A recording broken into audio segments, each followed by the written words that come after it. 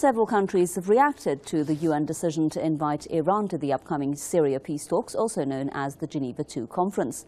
The Russian foreign minister has been among the first to support the decision. Around 40 countries have been invited to the conference, including Australia, Mexico, Korea, Brazil, India, Indonesia. If Iran were not on the list, that would seem profane. Negotiations are about bringing to one table not those who you like, but those upon whom solving the problem depends. Moscow, which has long been calling for Iran's participation in the Syria talks, has also said that Tehran's absence would be an unforgivable mistake. Meanwhile, the EU Foreign Policy Chief Catherine Ashton has also welcomed the decision to invite Iran. There's also been opposition to the invitation. Britain says Iran must clarify that it supports the formation of a transitional government in Syria. Washington has said that the UN invitation should be withdrawn unless Tehran publicly states its support for the 2012 Geneva communique on Syria.